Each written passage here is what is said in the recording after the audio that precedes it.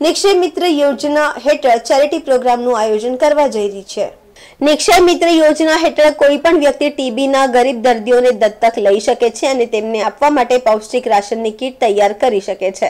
અને આ રીતે જ દર્દીઓનો મિત્ર બની શકે છે. મુસ્કામ ટીમ છેલ્લા બે વર્ષથી દર મહિને બસો દર્દીઓને રાશન કીટ આપી રહી છે. તેમના સતત મિત્ર બનીને હવે આ સંસ્થાએ વલસાડ જિલ્લાને વહેલી તકે ટીબી મુક્ત બનાવવાની પહેલ કરી છે.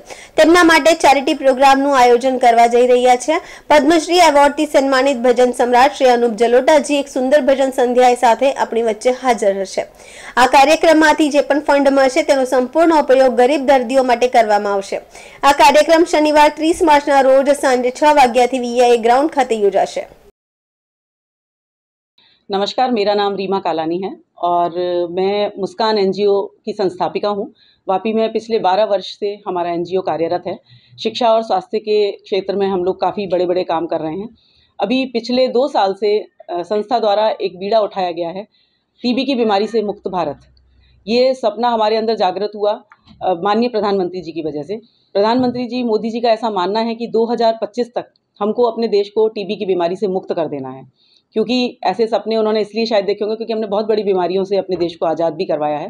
तो इसीलिए उन्होंने ऐसा सपना देखा और उसी सपने को लेकर मुस्कान टीम लगातार प्रयास कर रही है।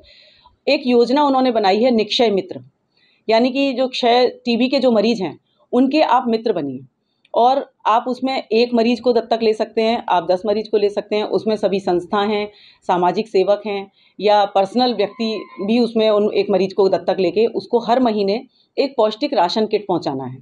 तो इससे और ऑन रिकॉर्ड आपका गवर्नमेंट में उसका रजिस्ट्रेशन होगा, बाकायदा फ़ोन नंबर और वो सब लेकर जो अपने गवर्नमेंट के जो कोऑर्डिनेटर होते हैं टीबी की बीमारी के जो कोऑर्डिनेटर हैं, वो आपको आएँगे, आपके पास बैठेंगे और आपको संपर्क करके आपकी पूरी जानकारी लेंगे और उस मरीज़ की भी आपको पूरी जानकारी देंगे। इस तरह से आपको पूरा मतलब निक्षय मित्र बनने का ये एक सपना उन्होंने जगाया है कि जितने से ज़्यादा से ज़्यादा लोग निक्षय मित्र बनेंगे, उतने ही ज़्यादा मरीजों को हम दत्तक ले पाएँगे और उनकी केयर कर पाएँगे। क्योंकि देखिए, मित्र अगर आप किसी भी रूप में किसी के मित्र बनते हैं तो आप उसको हर तरह से सहयोग करते हैं।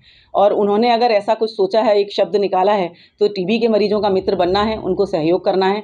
और मेरी संस्था, वापी में काफ़ी सारे निक्षय मित्र बनाकर उस पर कार्य कर रही है। और आगे जो इस सपने को बड़ा करना है या हमें बहुत सारे निक्षय मित्र बनाने हैं इन मरीजों को जैसे तीन से साढ़े तीन हज़ार मरीज़ हैं पूरे ज़िले में।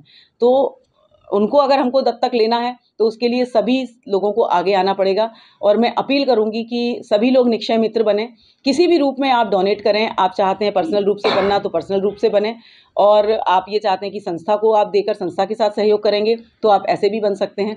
लेकिन कुल मिला सभी को इस योजना से जुड़ना है और उसी योजना को आगे बढ़ाने के लिए हम लोगों ने यहाँ एक चैरिटी कार्यक्रम का आयोजन किया है।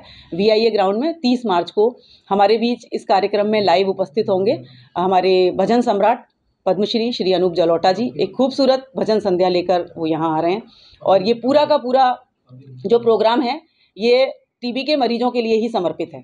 इसका जो भी हमारे पास जितना फंड डोनेशन जो भी आएगा हम ज़्यादा से ज़्यादा मरीजों को दत्तक लेने की कोशिश करेंगे ताकि कम से कम हम वलसाड़ ज़िले को 2025 तक मुक्त करा दें। ऐसी मुहिम है और ऐसा सपना प्रधानमंत्री जी के साथ साथ मुस्कान टीम की आँखों ने भी सजा रखा है और ज़रूर हम इसमें सफल हों। ऐसा आप सभी से भी सहयोग मांगती हूँ और आगे भी जो लोग लाइव देख रहे हैं या पढ़ रहे हैं, उन सभी से मैं हाथ जोड़ के निवेदन करती हूँ कि कृपया निक्षय मित्र बने और सहयोग करें, संस्था के द्वारा करें या अपने व्यक्तिगत रूप से।